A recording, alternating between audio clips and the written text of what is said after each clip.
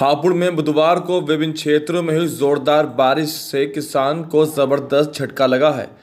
बिन मौसम हुई बारिश से किसानों को आर्थिक रूप से चोट पहुँची है, जिससे किसान बेहद परेशान हैं। अब किसान सरकार से आस लगाए बैठा है। दरअसल हापुड़ में ज़बरदस्त बारिश से धान की फ़सल खराब हो गई, इससे किसान को लाखों रुपये का नुकसान हुआ है।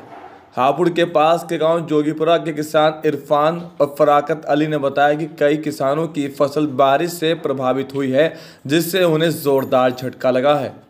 वो हमें कम से कम ढाई लाख रुपए का नुकसान होएगा हाँ कटी हुई है बस झाड़ रही पब्लिक।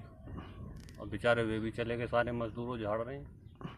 अब गुहार वही हुई है जैसे पब्लिक का नुकसान हुआ तो थोड़ी मदद मदद करे सरकार हमारी। ये पूरा खेत बर्बाद हो गया।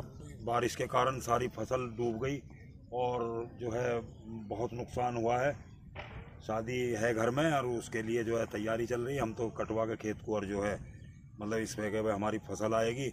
लाखों रुपए का मेरा नुकसान अकेले का हो गया। इसमें क्या नाम है? पूरी डूबी पड़ी है सारी फ़सल और सब बर्बाद हो गई। जी बिल्कुल। फ़सल यही था कि बच्चों की फ़ीस का है और क्या नाम है शादी का और जो और खर्चे हैं उनको पूरे करने के लिए जो है ये एक किसान पर उम्मीद थी। मतलब हम हमें उम्मीद थी अब ये कुदरती मार ऐसी पड़ गई कि इसमें सब धान की फ़सल बर्बाद हो गई।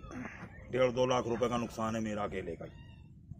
और बाकी जो है, सबका नुकसान हुआ है, इसमें बहुत ज़्यादा बेमौसम बारिश ने बर्बाद कर दी। फ़सल ये डूबी पड़ी है, इसमें जो है घोंटे घोंटे पानी था, अब कुछ निकल गया, कुछ कम हो रहा है, और इस तरीके से ये गल गई सब।